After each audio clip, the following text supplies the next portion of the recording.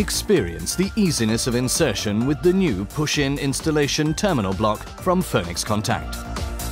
You can insert solid and stranded conductors with a cross-section from 0.34mm squared easily using 50% less force and without using any tools.